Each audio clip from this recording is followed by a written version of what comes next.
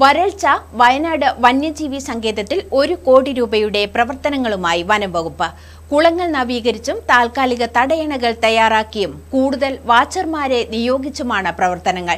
വേനൽ ശക്തമായതിനാൽ വന്യജീവി സങ്കേതവുമായി അതിർത്തി പങ്കിടുന്ന വനമേഖലകളിൽ നിന്നും വന്യമൃഗങ്ങൾ കൂട്ടത്തോടെ തീറ്റയും വെള്ളവും തേടി ഇവിടേക്ക് എത്തുന്നതിനിടെയാണ് വനം വകുപ്പിന്റെ നടപടി.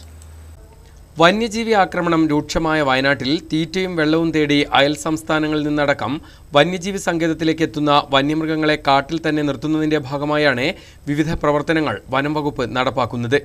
വനത്തിൽ വന്യജീവികൾക്ക് ഭക്ഷണവും വെള്ളവും സുരക്ഷയും ഉറപ്പാക്കുക എന്ന ലക്ഷ്യത്തോടുകൂടെ ഒരു കോടി രൂപയുടെ പദ്ധതികളാണ് നടപ്പിലാക്കുന്നത്.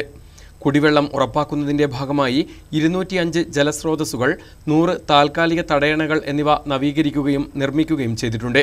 കൂടാതെ നൂറ്റി ഇരുപത് ഹെക്ടർ പുൽമേട് വെട്ടി ഇളം പുല്ല് കിളിർക്കുവാനുള്ള സംവിധാനവും ഒരുക്കിയിട്ടുണ്ട്.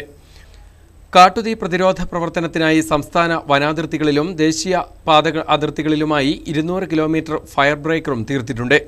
വന്യജീവി സങ്കേതത്തിൽ ഇരുപത്തിയഞ്ച് സ്ഥിരം ആന്റി പോച്ചിംഗ് ക്യാമ്പ് പ്രത്യേക ഇടങ്ങളിലായി അഞ്ച് വാച്ച് ടവറുകൾ സങ്കേതത്തിലെ നാല് റേഞ്ചുകളിലായി ഇരുപത്തിയൊൻപത് താൽക്കാലിക മച്ചാൻസ് നൂറോളം വാച്ചർമാരെയും നിയോഗിച്ചിട്ടുണ്ട്.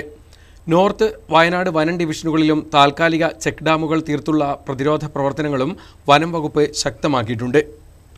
ഇത്തവണ ശക്തമായ വേനലായതിനാൽ അതിർത്തി സംസ്ഥാനങ്ങളായ കർണാടക തമിഴ്നാട് എന്നിവിടങ്ങളിലെ ബന്ദിപ്പൂർ നാഗർഹോള മുതുമല എന്നീ വനസങ്കേതങ്ങൾ നേരത്തെ ഉണക്ക് ബാധിച്ചിരുന്നു.